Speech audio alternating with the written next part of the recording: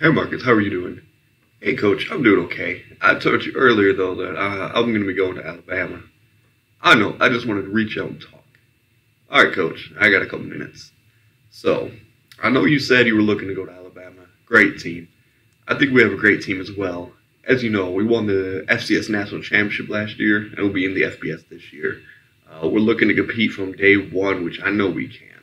Uh, Thomas Richmond, who was our QB last year, graduated, so we have a hole in our QB position I know you can fill. Yes, coach, I looked into you guys when the East Alabama recruiter called me. You have a great looking team. Uh, thank you for calling me and good luck with the upcoming season, but I got to get to work. Work? What do you, what, uh, what's going on? Nothing really. I've always worked. This is something we do where I come from. That takes away from trading, I suppose. What about your family? What will they do when you're off at college? I know Saban's not going to let you work. Football's a full time job when you get to Alabama. My parents told me not to worry. Uh, when I was offered a scholarship, I wanted to turn it down to go to a local school so I could still help out, but my mom told me not to worry about it.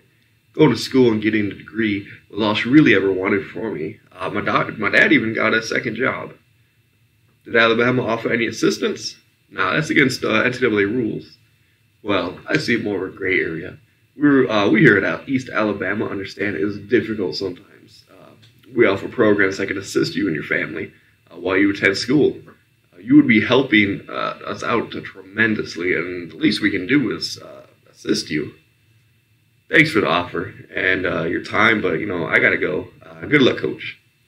Think about it and let me know. Call me anytime.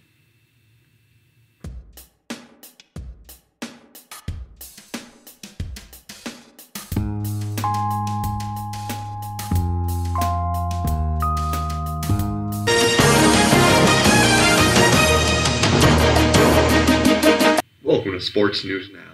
In a stunning twist in recruiting, Marcus Taylor, the Alabama QB recruit, has decommitted from Alabama and has verbally committed to the new, F- new FBS school, East Alabama. We'll pass on more information as we get it.